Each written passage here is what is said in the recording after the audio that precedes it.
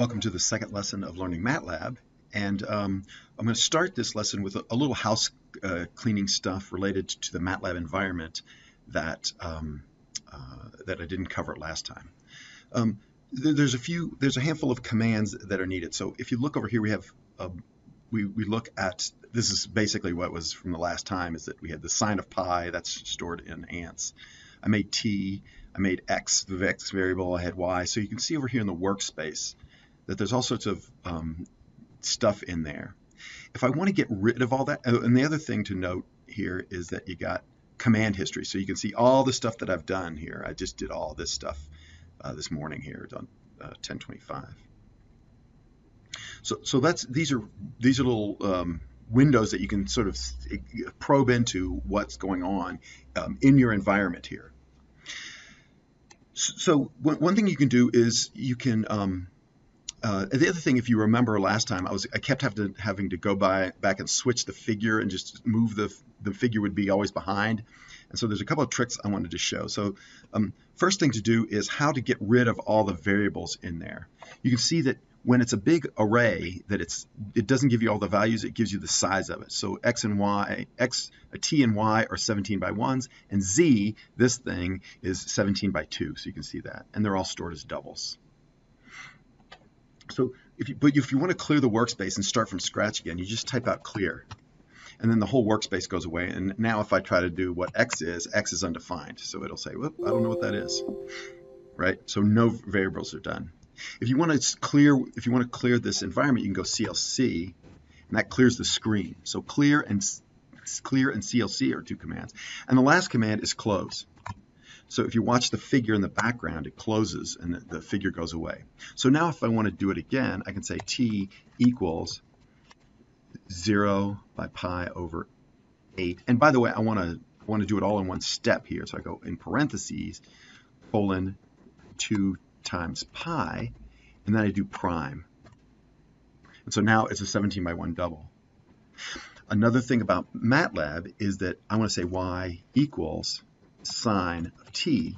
If I don't want to see it print out, print out to the screen, I just put semicolon and it suppresses the answer. There's still a y there. You can see over here. But um, but now if you put a semicolon after, it just doesn't spit it out to this, to this environment screen here. And then you can say z equals sine of t cosine of t So it didn't print it out either, and, and I guess z is a double. And then if I want to plot ty, I can plot ty, and then I go back here. Now the figure is behind, so if before I make a second figure, I can just go close, and then plot z, and it comes and it's on the front, so you can see it again. So closing a figure before you um, before you replot something out is is a little more convenient. That's just a little side thing. So that's a that's a couple of little um, uh, commands: clear, CLC, and close. Those are those are some commands to know in MATLAB. Speaking of which, clear, CLC. And, and also uh, the up arrow works, so I'm just going to get T again. And I'm going to put a semicolon after it, so I don't. So there it is, 17 by 1. And I can say um, y equals sine of t, and z equals cosine of t. now, I want to I want to manually calculate the tangent. So I go tng, tan, tan is actually the function t. So I'm going to call a variable tng equals sine equals y divided by z. So it's vectorized. So this would be the first element of we, we think it would be the first element of y divided by the first element of z, and so on, and this would calculate the tangent. Uh-oh. It's 17 by 17. It didn't work. So if I want to see what the value of tan tangent is, I just go there and it's like, well, it's a lot of zeros. And the first column looks okay. Yeah, I don't know what that is. So the, the answer the answer to what just happened was that MATLAB, the MAT stands for matrix. So y, a, y slash z is a matrix operation. It's the matrix division of a one a 17 by 1 divided by a 17 by 1. That gives you a 17 by 7. If you wanted to say T and G equals y prime divided by z prime, that just gives you a single number. So you can see that the division sign is loaded. It's the division the division symbol is overloaded. For just scalars, right? It works, right? So it works as a scalar, but for for vectors and matrices, uh, slash means matrix division, a form of matrix division. So it's it's not y1 divided by z1 and y2 divided by z2 and so on. That has a different that's a different variable. So if I go clear tanh, I could just clear one variable, so tanh is gone. I can say clear x, and then x goes away, so now I'm just back to t, y, and z. So if I say t and g is equal to y dot divided by z,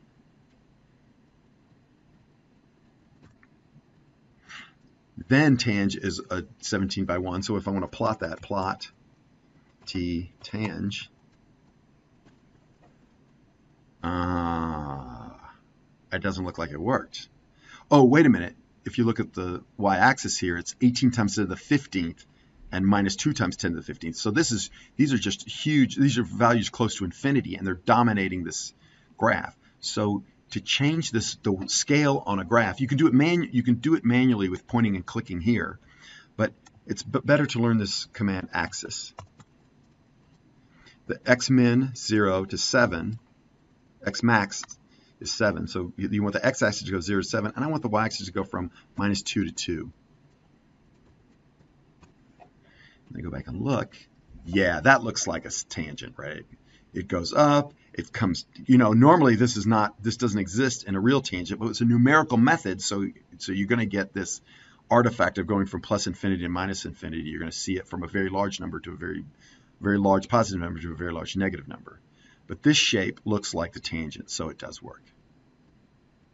And in fact, if you say plot, if you go close, and you say plot t, and then use the, the MATLAB function tan of t, you get the same plot, and if you do the axis of it, I'm up arrowing to get that, you get the same answer. So dot times and dot divide are row by row multiplication and row by row division. So dot times is row by row multiplication and dot divide is row by row division. That's a difference that you have to, that's one big difference between MATLAB and other programming languages. For vectors, that's how you do vectorized uh, operations instead of a for loop in MATLAB. Good?